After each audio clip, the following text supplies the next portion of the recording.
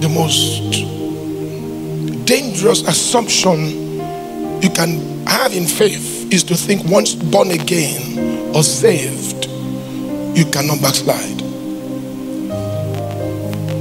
Very dangerous. Very dangerous. And what gives us that feeling is when we still go to church. When we still go to church, we tend to think we still go to Christ. You can be in church and truly be backsliding. You can.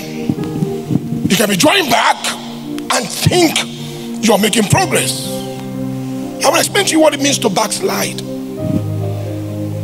And the backsliding believer needs revival. This church has pressed a mode since last week, Wednesday. And the, you know when you press a button, and the mode we are in now is revival mode.